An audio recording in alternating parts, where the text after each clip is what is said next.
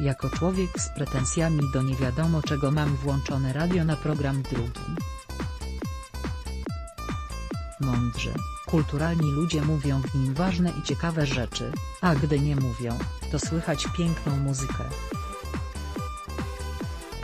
Niestety, odkąd PiS jest u władzy, błoga atmosfera obcowania z mądrymi ludźmi, pięknem muzyki i literatury raz po raz zakłócana jest przez agresywne wtręty politycznej propagandy, której obecność zdaje się warunkiem, jaki władza ludowa nałożyła na ten przedostatni przyczółek i azyl inteligencji, aby wolno mu było jeszcze istnieć.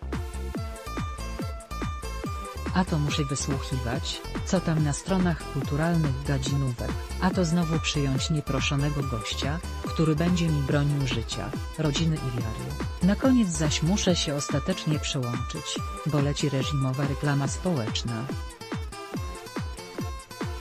Z tym ostatnim jest od jakiegoś czasu istny koszmar.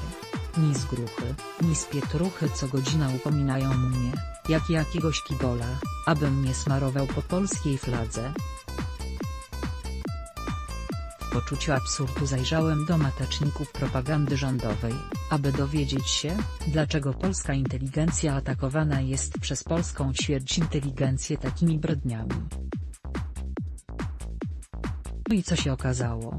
Otóż okazało się, że akcja odchamiania flagowego, pod hasłem Nasza historia ma dwa kolory, nie pisz na fladze, prowadzi w mediach Ministerstwo Kultury, a osobliwie jego wiceszef Selolin Jarosław, wykazując się w ten sposób wkładem w wielkie patriotyczne obchody stulecia RP. Celem kampanii, finansowanej chyba głównie przez Lotos, jest nauka poprawnego używania symboli i barw narodowych. Jakaż to jest nędza kulturowa i umysłowa, gdy rząd państwa istniejącego od 100 lat, wprawdzie z przerwą na wojnę i nie za bardzo albo i wcale nie suwerennego przez połowę tego czasu, kojarzy sobie patriotyzm z niepisaniem po fladze. Niepisaniem czego? Chyba głównie nazw miejscowości, bo inne napisy pojawiają się raczej nie na flagach, lecz na biało-czerwonym tle. Otóż moje drogie PiS. W żaden sposób nie uwłacza godności państwa polskiego i polskiego narodu, gdy ktoś napisze nazwę swojej miejscowości na fladze.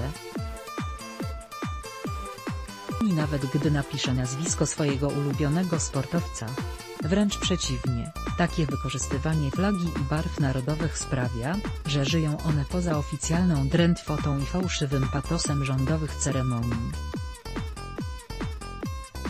A jeśli już chcielibyście chronić polskie symbole przed nadużyciami, to napiętnujcie ich używanie przez kler katolicki, który chowając się za polskimi barwami, udaje idiotów i robi z ludzi idiotów, w wyniku czego znaczny odsetek społeczeństwa nie uświadamia sobie, że Kościół katolicki jest zagraniczną organizacją państwową, a biskupi są w pełni lojalni względem swoich watykańskich mocodawców, ich ideologii i interesów.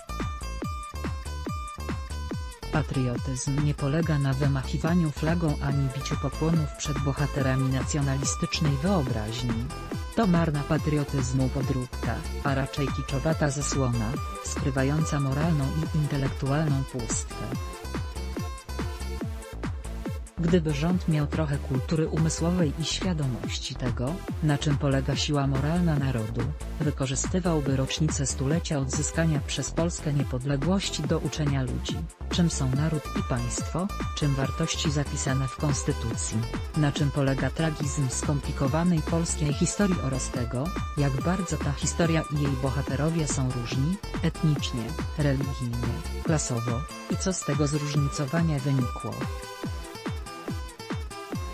Bo jeśli ktoś myśli, że Polska to dzieło jednakowo myślących i wierzących bohaterów, którzy zawsze bez winy i zawsze pod jednym sztandarem, z jedną wiarą w sercu walczyli ze złymi i okrutnymi sąsiadami, nigdy nikomu krzywdy nijakiej nie czyniąc, to z pewnością nie jest patriotą, jest idiotą. A to nie to samo. Obawiam się, że w środowiskach pisowskich parweniuszy i bigotów patriotyzm, nie mówiąc już o jakimś krytycznym rozeznaniu w polskości i jej dziejach, w ogóle jako idea, nie mówiąc już o praktyce, nie występuje. Jego miejsce zajmuje zidiocenie, którego nader wymownym wyrazem jest wymysł, aby w ramach krzewienia szacunku dla państwa i ojczyzny uczyć ludzi, aby nie smarowali po fladze. Ci ludzie są tak słabi, tak żenujący, że aż wstyd się ich bać.